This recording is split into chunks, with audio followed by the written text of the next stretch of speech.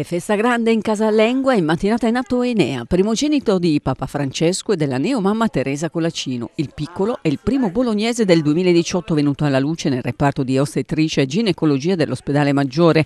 2 kg 870 grammi per 50 cm di lunghezza. Enea è venuto al mondo dopo un travaglio di 12 ore.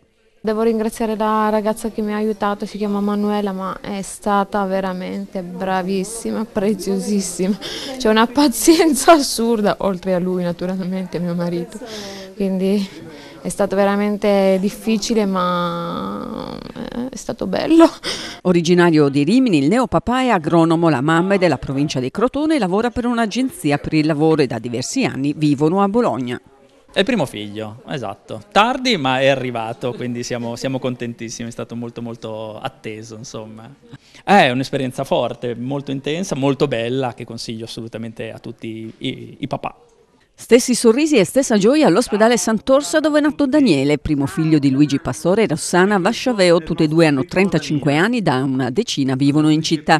Lui lavora presso un'azienda di San Lazzaro Savena, Rossana invece è dipendente dell'Università di Bologna. Si chiama Daniele Pastore, pesa 3 kg 375 grammi, è lungo 51 cm. Il travaglio è stato un po' po' così travagliato, però è andato, andato tutto bene, è sano, mia moglie è contenta. Sono stato dentro fin, fin dall'inizio, è, è un'esperienza coinvolgente perché poi il personale del Sant'Orsola qui eh, mi, ha, mi, ha, praticamente detto cosa dovevo fare, mi sono trovato immerso a mantenere la gamba di mia moglie, a dire spingi, spingi e poi ho visto fuori la testolina del bambino, poi dopo tutto il corpo uscire e lì è, un, è una gioia irrefrenabile, le lacrime uscivano da tutti perché c'erano sorrisi e condendenza da tutte le parti.